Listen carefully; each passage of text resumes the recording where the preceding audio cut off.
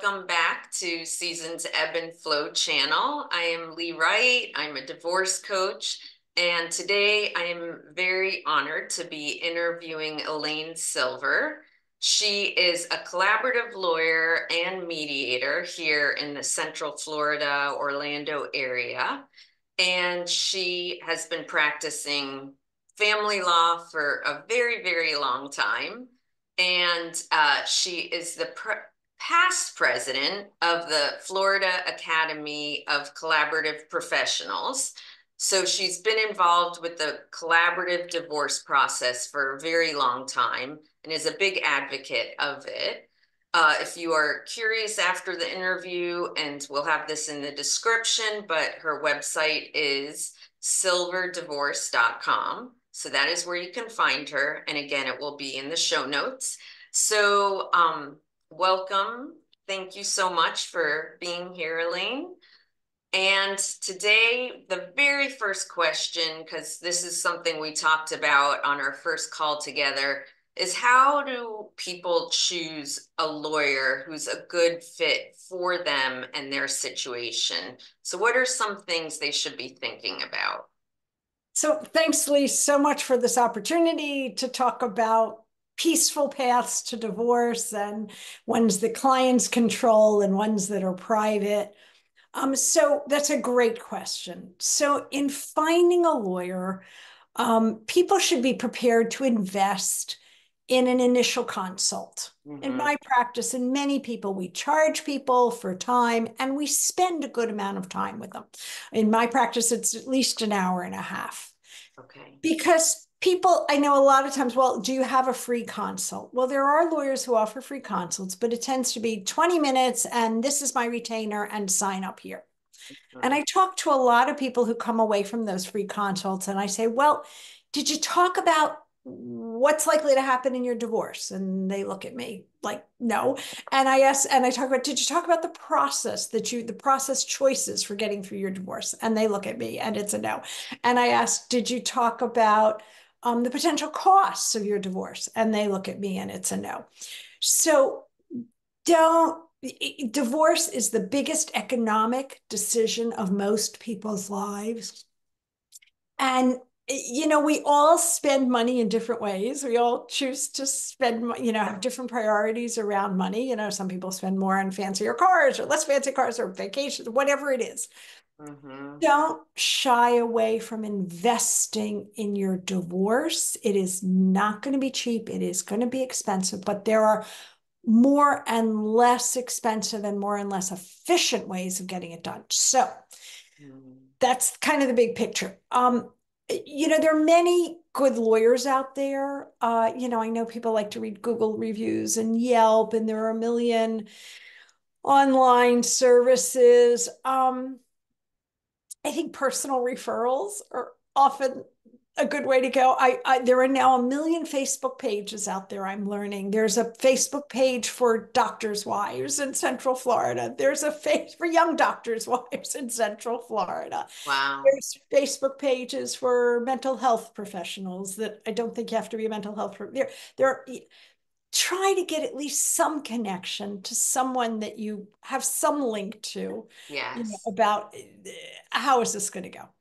Um, sometimes you know a lot of people come to me because they google divorce lawyer in my area I, I, you know i don't know it's it's challenging but when you get there one be prepared to spend money and time on a consult mm-hmm.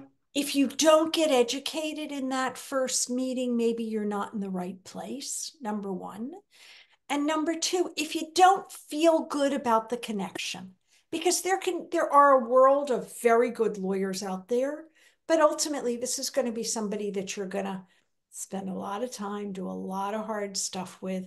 Feel good about that. Mm-hmm. And don't just look for a yes person. Mm-hmm. Don't just look for a lawyer who's going to say, oh, that's what you want. Sure, we can get that for you. Right. That is not helpful. And frankly, I don't think that's what we're trained and educated and ethically supposed to do. Yeah, absolutely we're supposed to educate clients about the real world. Mm-hmm. And you should have, like, we can never guarantee what it's going to cost. but we should be able to tell some likely range. If you're in a collaborative case and it takes six meetings, this might be the range of cost. Okay. If you're doing mediation without lawyers, and if we're going to spend the typical four to six meetings, this is approximately what you might expect. Mm-hmm. But I can't guarantee that because I don't know. I don't know anything about your spouse. I don't know anything how quickly you guys are going to make decisions. Right. I don't know what the bumps in the road are going to be. Yeah. So that is a wild estimate. I I I, I, guess in some ways it's like the estimates you get when you want to do a construction thing on your house, right? Yes, model, totally. And they and say you so creep and yeah, prices of dry wood goes up or whatever. Yeah. Or exactly. I don't know what I'm going to find when I punch through that wall. Yes, absolutely. Yeah, and to your point about some a yes man, I think that's really I hadn't even thought about that, but like my ex-husband, I've brought this up before and we're amicable now and he acknowledges he made a really bad choice with his lawyer because his lawyer's website was like no alimony and uh, and he didn't educate him so they went into mediation with absolutely no preparation and he had to stop listening to his lawyer because his lawyer kept saying we're just going to court because i was standing up for what I believe is was fair. And he, my ex, wanted to avoid court. So he ended up hiring and paying a lot of money to a lawyer who did not have his best interests in mind. And it was partly because probably in the initial, he was like, oh, don't worry. Yeah, we can get all of that. Like, oh, this is going to be an open shut case. Um, and it wasn't. And it was an easy case to mediate if we were both rational and had lawyers who were advocating and giving us good information up front. So my other bias is that you want a lawyer who practices collaboratively. Should I mm-hmm. launch into that whole conversation right up here up front? Yes, yes, that was my next question. So that's perfect. So, the collaborative lawyers, we are a distinct breed. All right. And there is a collaborative process that's with a capital C. It's not just cooperative, it's not just nice, nice there's a there's laws that tell us what collaborative is. Collaborative is a divorce process where both people get a lawyer and the lawyers and the spouses sign a written agreement which says we are not going to court. And that is so powerful because the reality is that less than 5% of all people go to court right. and that going to court is always the worst case scenario and there is no winning it's only everybody loses and if you're going to be in that 5% that's going to go to court it's going to be honestly 2 or 3 years from now and it's going to be an enormous amount of money and i this is raw for me because i spent this week mediating with folks who've been to court gotten a final judgment or on appeal and are still battling mm three years later. And if the one who wins the appeal wins, what they're winning is a whole new trial. Oh no. Oh no. Right. So, so I say, really look for a lawyer who is steeped in collaborative process mm-hmm. because and you don't have to do a collaborative process, but at least they have been trained to think about court is not the answer. Yeah. Yes. if a client comes to you and they're like, I'm trying to decide between, I don't know enough. It, this is my situation. How do I decide if I could potentially do pro se mediation, which is mediation without attorneys involved, hire a collaborative lawyer, or hire a litigation lawyer? How do they decide based on their situation which which is the best path?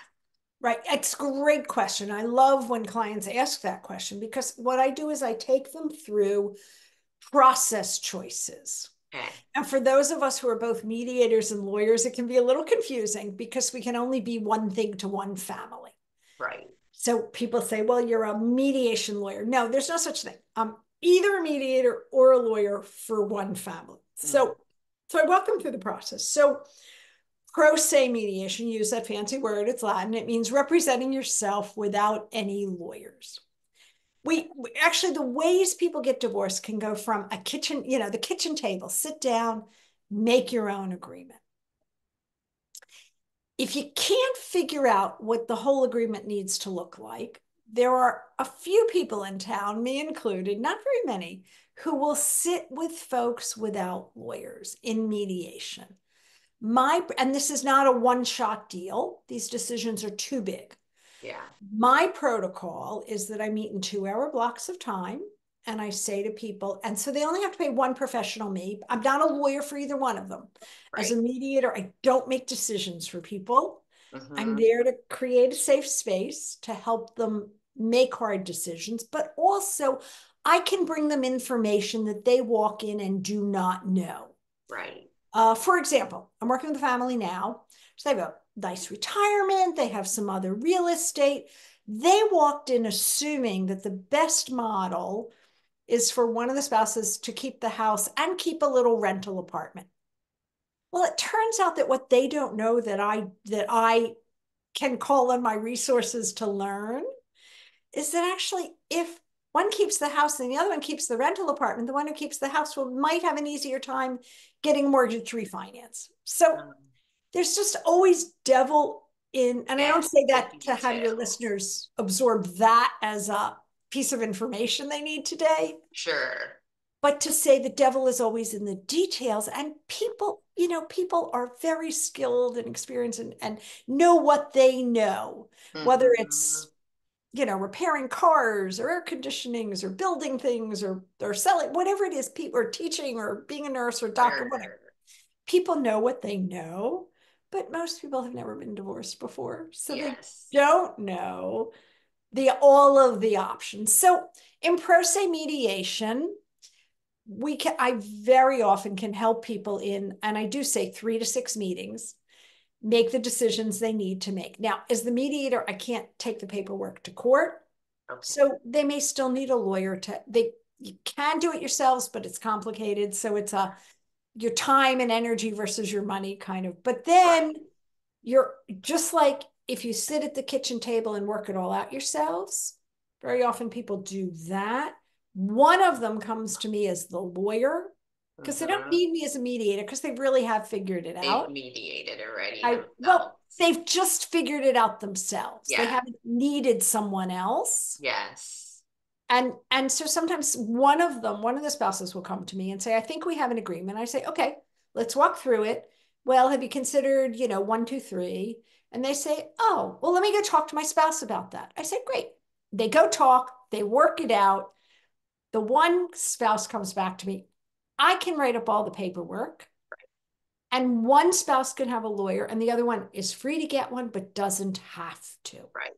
When you're doing that, you would be called a consulting attorney, right? Um, I'm really, I'm just a lawyer. That's okay. really not a consulting lawyer. I'm okay. representing one of the parties to do to process their uncontested divorce. Gotcha. Okay. And when you are acting as a mediator, you're completely neutral.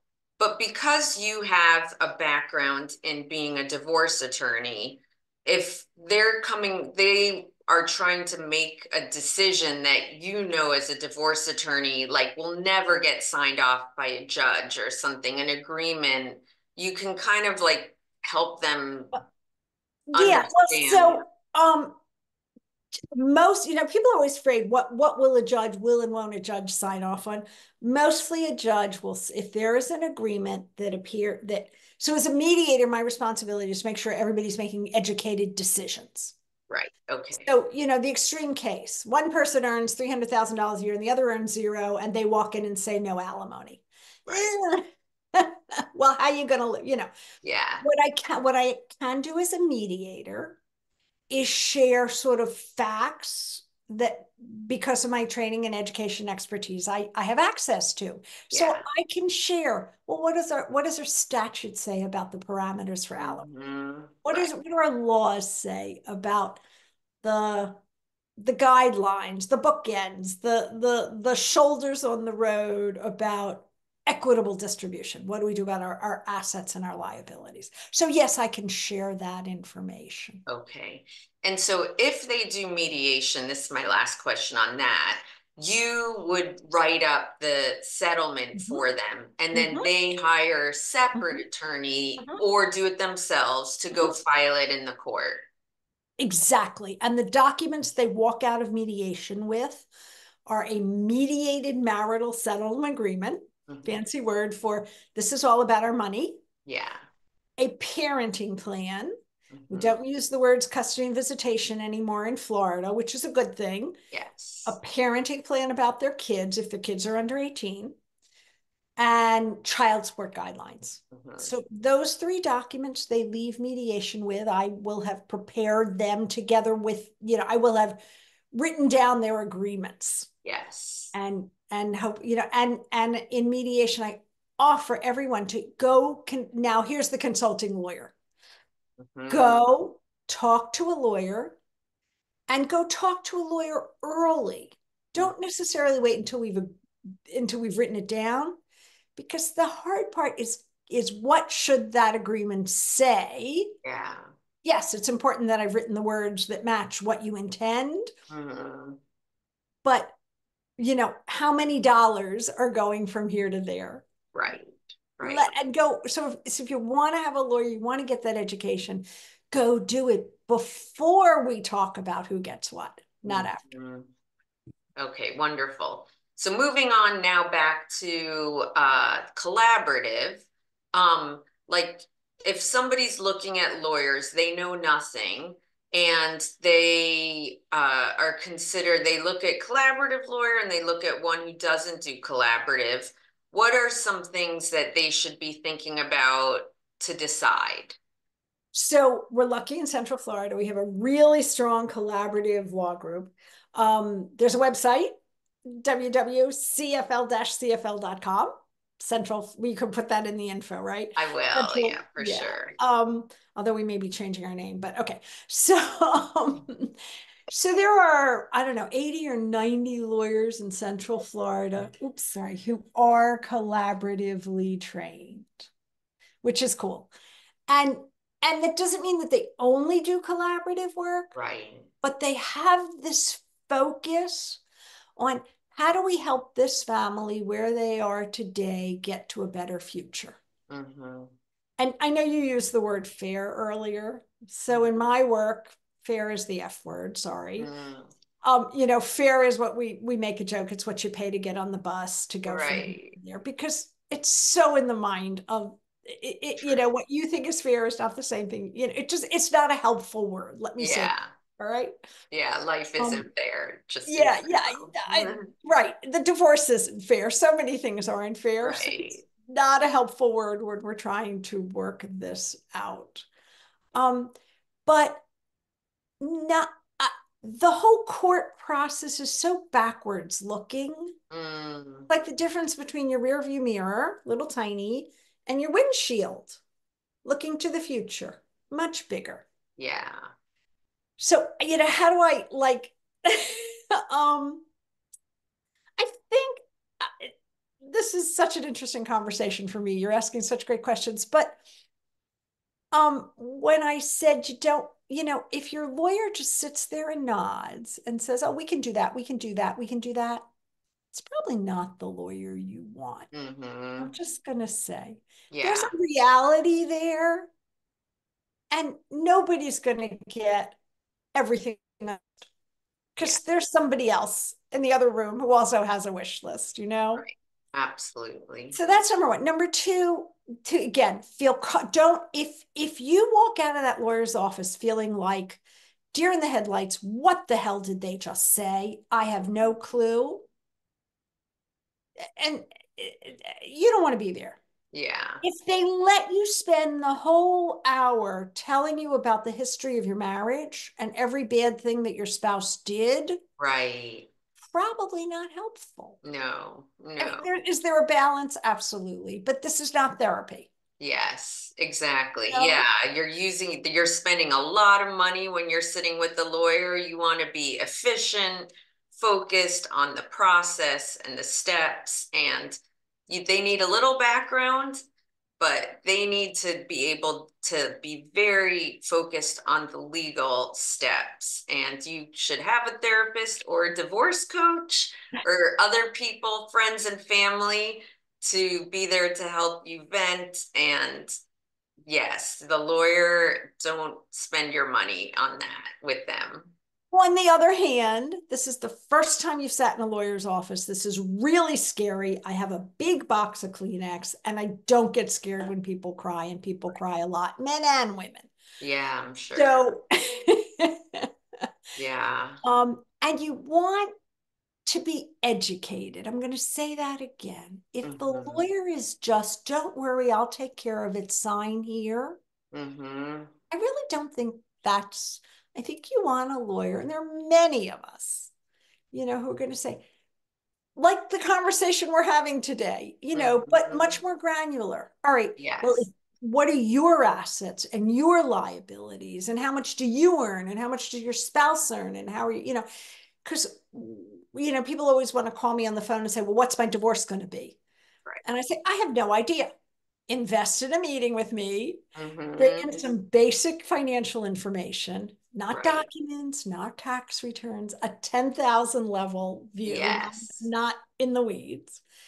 And then when I know enough to know, okay, this part looks pretty good, this part's going to be really challenging. You're not going to be as well off as you are together for most people. Mhm. Um, you know, and sometimes that first meeting, we're doing divorce planning. Mm-hmm. I send them away. I say, you know what? Go get your job. Go go finish your education. Go get your job. Spend the next whatever it takes three months, six months, a year cleaning up your debt. Yes. If if possible. I mean, if they're safe and eh, you know this doesn't work for everybody. Of course, it works because if you've got you know one or more, however many incomes you have, you've got more money together when there's only one house than if yeah. are two. Mm-hmm. And divorces don't fix, you know, if people are up to their eyeballs in debt when they walk into the divorce, yeah. it's only going to get worse, not better. Exactly. Yeah. I remind people when I'm working with them, like, it is hard financially the first three years. You're both getting your footing, getting everything back settled, figuring everything out, living on a different income. And like just be mentally prepared, be financially prepared uh, to make cuts and live in new means. And just the reality, unfortunately, of divorce is you're dividing everything you had in half. And it's not easy, but it's worth it if you're not in a very unhealthy marriage to live very bare bones for a while, but rebuild, you know, and but you have to be prepared for that. So, you know, our stuff doesn't make us happy. We know this. Mm-hmm. But also, people sometimes say, well, why would I save money if my spouse is going to get half of it? Mm-hmm. And my answer to that is because half of a dollar is still more than half of zero. Right. Mm-hmm. So true. So true.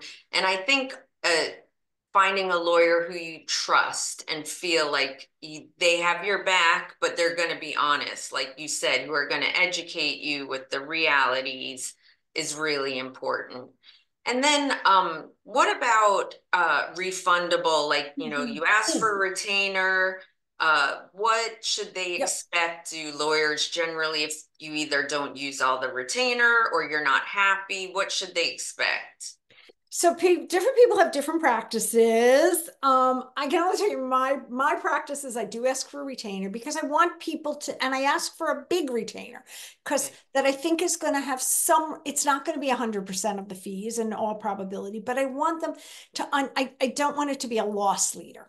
Yeah. I don't want you know pay me a little bit and then I'll just keep billing it. some people bill monthly, some people do a lot of things, but I I my I like to be honest up front with people about what it's going to mm-hmm. cost, and I don't want to be anybody's banker. I am not yeah. working for free. Right, um, chasing. Um, yeah, I work too hard. I I get that. Um, um.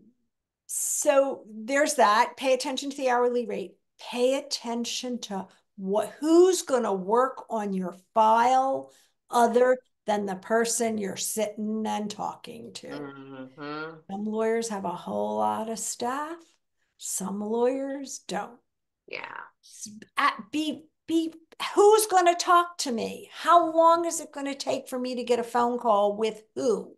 Yes. How many layers of young lawyers, assistants, paralegals going to mm. work on my file? How are all those people going to be billed? Yeah, I think, and even some of my clients have issues with like they uh, call to set up a meeting and the lawyer's not available for days and maybe it takes the paralegal back and forth to even find a time and they get they meet with me because they're so frustrated at like I can't even get to time with my lawyer. So I think making sure that you're hiring a lawyer who will be responsive within a fair amount fair, but uh will be able to respond that they will you will get time with them, not just their paralegal. Um, what the billing rates are for their paralegal versus them uh, also, like one of my clients could never get the lawyer on the phone. It was always email, but their emails would go back and forth because she would, we would come up with three questions and the email she would get back would only answer two. And so we started, she wanted to just only do phone calls because thought it would be more effective, but that lawyer didn't like phone calls. So I think figuring out how you work with people best and making sure that that's good with that lawyer. Maybe some people, lawyers don't like phone calls. I'm just going to close this blind. So I think thinking through the way you work with people and how you, and making sure when you hire that lawyer that that's, they are okay with that. Well, in all, I mean, you know, clients are somehow afraid to fire lawyers. And I, you know, you don't and and so that goes back to that refundable retainer business yes right? okay there are and so but I'm sorry, but you know, there are lawyers who say this is my retainer and I keep it no matter what. Mm. That is not, it's not unethical, but it's not my practice. Okay. My practice is I take a retainer, I charge her for the time we spend together. If you fire me, we're done. Mm-hmm we're done. Once in a while, if the case goes to conclusion, that will be a minimum fee. That's rare, but actually, people are well served if we do that because mm-hmm. they don't mm-hmm. want me spending a whole lot of time. They want this done. Yeah. So, but that's rare. Um, but I don't.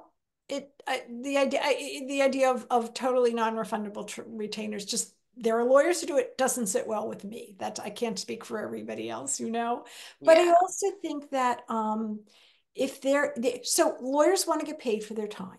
Mm-hmm. So if my if a client is calling me every day of the week, you know, and I'm talking to them, I'm going to send them a bill that reflects that. Sure. And that may, you know, impact um you know what because because again, not everything I don't control the speed. However, I will tell you that collaborative process avoids a huge amount of these frustrations. Mm. Shall I tell why? you? Why? Can you explain why that yeah. is, or how? So remember, so a collaborative divorce is that one where there is at least two lawyers, two clients, and those four people sign an agreement that says we will not go to court. Mm-hmm. And if and that puts all of you know, I, I have no, I mean, I have no interest anyway, but you know, they do talk about lawyers who just want to look, going to court is the most expensive process. Yeah. So any, you know, so I, I'm, I'm perfectly fine with getting people done with their divorces and in a reasonable, quick fashion and making less in every case. It is fine with me. Um, but that, you know, and it is fine with all collaborative lawyers because our goal really is to get this family through the process. It's still painful, but as painlessly as possible. And so, and so what we do, yeah, may I? So, and so, so, so if somebody comes to me, I always talk about collaborative divorce as an option. Okay. And then I say, does your spouse have a lawyer? And if they say yes, and I go, oh, I know that person. They do collaborative too. This is great. Or, well, I don't know that person, but I'm going to reach out and see if they're interested in doing this collaboratively. Oh, nice. I have a case right now where that's exactly what has happened. Huh. They did the old fashioned, created a petition, filed it in the courthouse, served the other spouse. The other spouse came to was referred to me, came to me.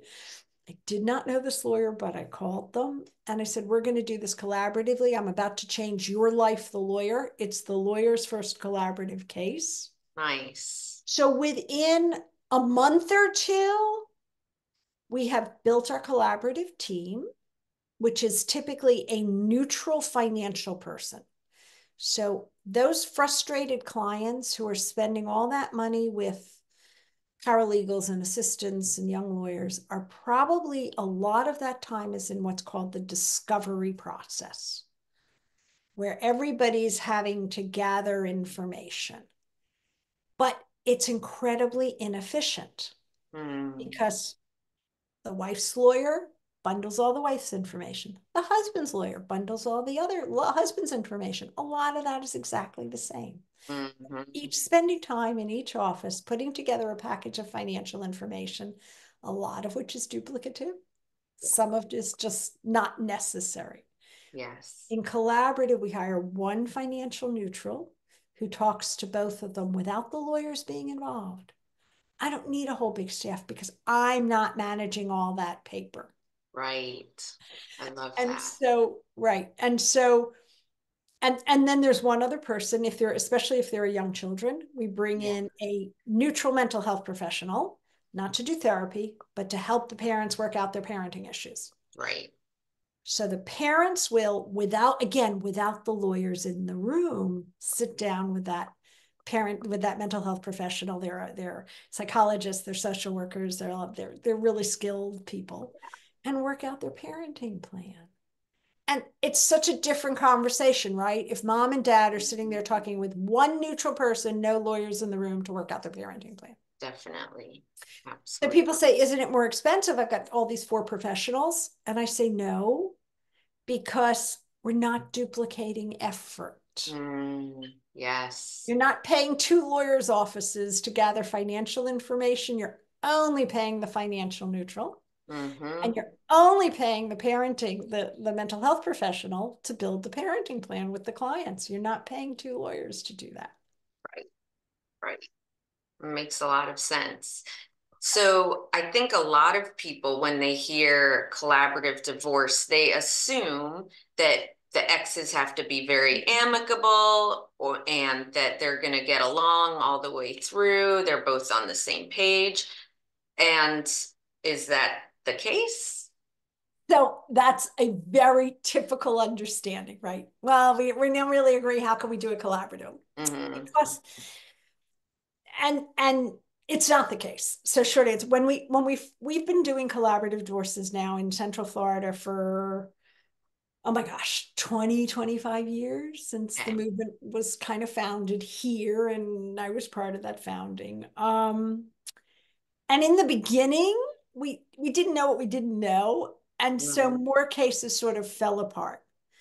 I will Mm, tell you that we have built skills and abilities to deal with such complexity and so much anger and so much grief and so much mental illness and so many addictions and right. and even domestic violence and certainly coercive control Right. We have developed skills and tools to handle so much of that stuff Mm, you know does every case settle 100% no Right. approaching 90 or 95% yeah Wow, that's yeah amazing. and we can great. bring in the, because people think that courts can fix this Mhm. so all of those problematic cases yeah ultimately some judge will make a decision that'll be a year or two down the road Mhm. one will be happy with it Right. there will be chaos in the mean you know Yeah. Yeah, judge is deciding your family's future. Like, if rather be willing to negotiate and give up even a lot sometimes, you know, and get certain things that are really important to you rather than rolling the dice on a judge's random decision based on, you know, brief time with your family. So, um, and uh, when, so the two neutrals that are generally involved is a financial neutral and uh, a therapist neutral. Um, but then I'm guessing there might be cases where you need like uh, what if the one of the spouses owns businesses and you need like someone to investigate to get a valuation of the businesses or um, so we great question. Or value real estate or what do we do about the right. value of the house or do they you know whatever comp they do they have a pension that we have to think about? Those complex financial issues. Yeah. That's great question. We always start with our financial neutral okay. and we have that conversation in each case okay. the house. Can you guys just agree what it's worth? Do you want to go out and get uh, realtors to give you an approximate? Do you want to pay for an appraiser? Business valuations same deal. We go through the same analysis. We offer the clients choices. Which way you want to do this? What's it going to cost? How close can you guys come to an agreement you know? Mm-hmm how much do you want to spend to get there? We have that conversation along the way. But in litigation, if there's a business that needs valuing, they're going to be paying, they're each going to be paying for their own expert. Double the money. Yes. And then they'll have a war of the experts in the courthouse. Yeah. And the judge is going to go, right. So you're telling me you guys are how much apart and I'm supposed to figure this out? yeah. Yes. Um, like everything that those aren't, you know, it's not a, yes, there's some science behind it, but it's not perfect. There's right. Yeah. And and I'm sure getting the experts to get all the books that I'm sure there's dragging of the feet and like it's I could imagine that that could be a nightmare and take forever and so and madly expensive. Yes.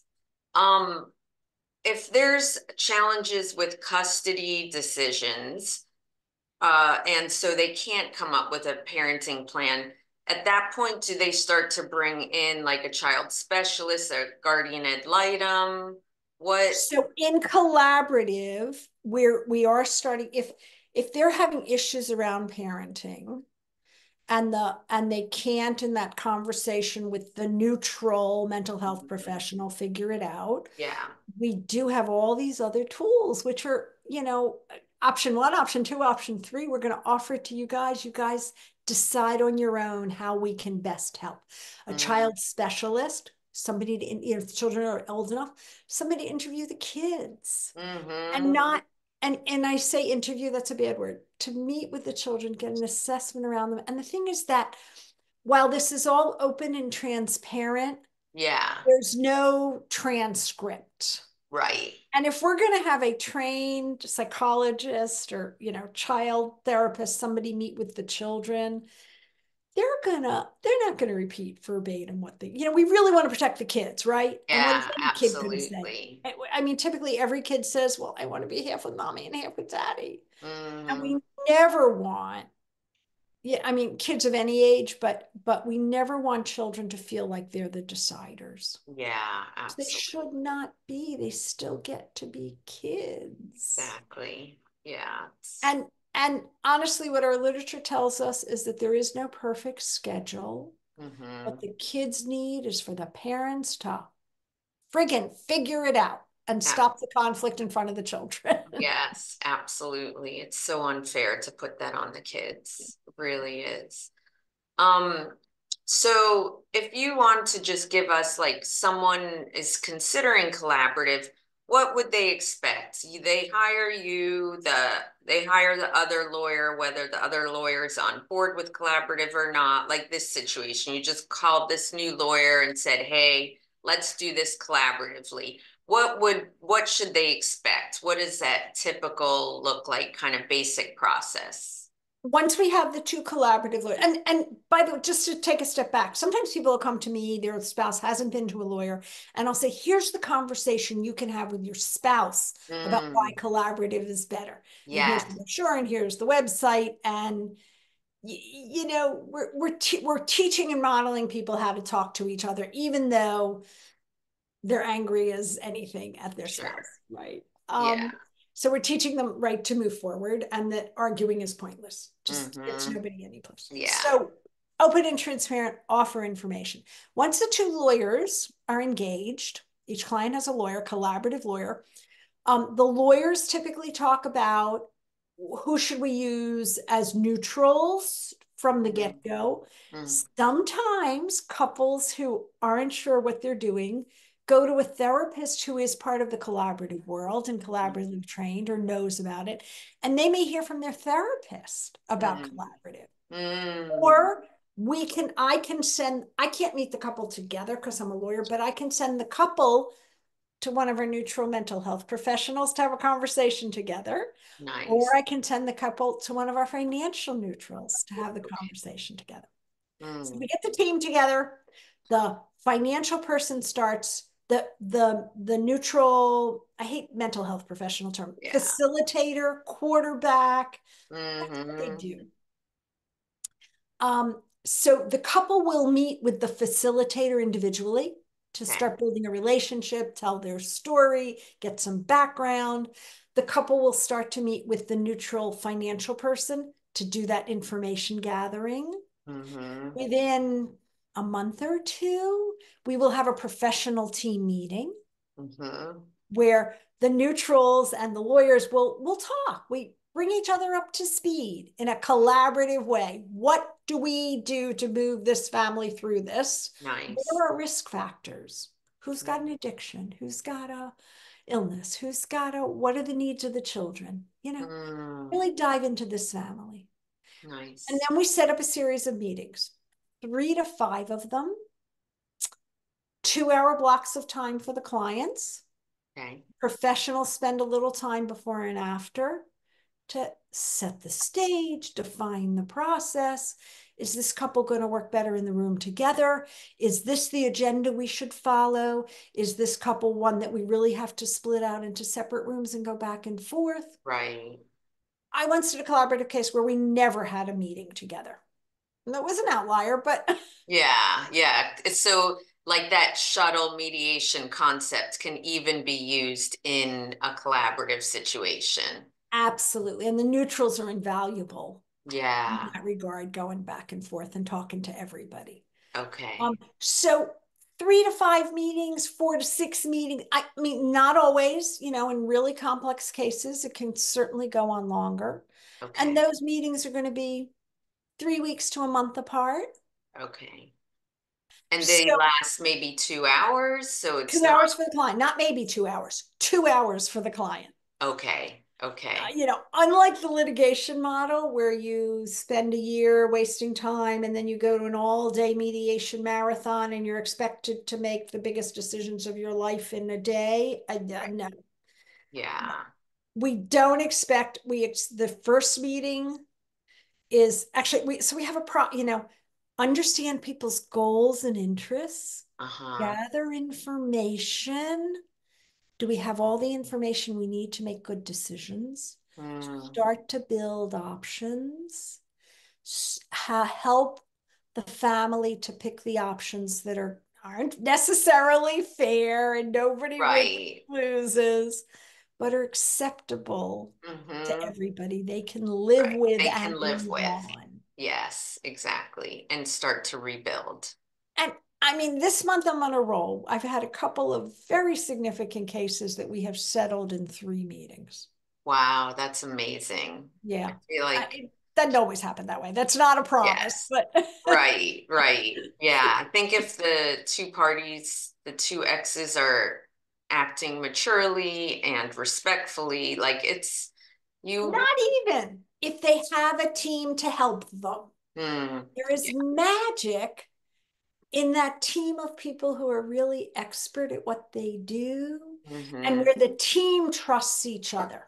Yes, yes. You asked me about red flags with lawyers, right? Mhm. You walk into a lawyer's office and they say, Well, who's the other lawyer? And you go, Joe Blow. And they go, Oh my God, Joe Blow is the worst in the. Don't, don't. You don't Yeah. want whatever's going on between the lawyers to spill over into your case. Absolutely. But if the lawyer says, "Oh, Joe Blow, I know Joe. We've worked together. Mhm. Good lawyer. We can get this done for you." Right. They're not colluding. They're not. That's what you Mhm. want. Yes. You want that respectful professional relationship. Absolutely. Yeah, you do want them to be able to work together because otherwise their egos or their past might be playing into this and it's not even all about you and your family. Like that's the last thing you need. Yes, ma'am. Um, so you told me about the acronym PEACE that you tell people. Can you tell us about that acronym? Yes, absolutely. So all of this conversation, I appreciate it. Told you I can talk forever. Has been about process. Mhm. The, the the other part of the conversation is substance. What is it that we have to decide to get divorced? And peace, like give peace a chance, right? Mhm. Is the acronym to work our way through it. So P is for a parenting plan if you have kids under 18. Mhm. And we don't use the words custody and visitation. It's where the kid's going to be when. And the law in Florida since July a year ago, July of 2023, is now that if you have two reasonably capable parents and the kids are safe with both of them, and one of them asks for 50 50, it's going to be 50 50. Yes. And that's not, that's a whole nother webinar, but it's not a bad thing. So that's peace. Um, what's our parenting plan for the kids? E is for equitable distribution, and that's the fancy word for what are our assets, what are our liabilities, who's going to get what. Right. And the starting point for that in Florida is 50 50 of the whole pie. Mhm. But got to spend some time figuring out what the pie is and what's in it and what it's worth and so on. Um, PEA is alimony, the A word that everybody hates to talk about. Yes. C is child support, which is statutory. And we now actually, since a year ago, we actually have some statutory guidelines about alimony, how much and for how long. Right. People who think they're going to survive on alimony are dreaming. It's Mhm. if you're the spouse who needs alimony, buckle up. It's a ride. Yeah. Um, but I lump alimony and child support together as future income distribution. Right. How much for how long? And Mhm. it depends. There's no one size fits all. Right. It depends on this family. And the PEACE is everything else Yeah. life insurance, pets, college, anything particular. Braces, all those things. The stuff in the house, the Yes.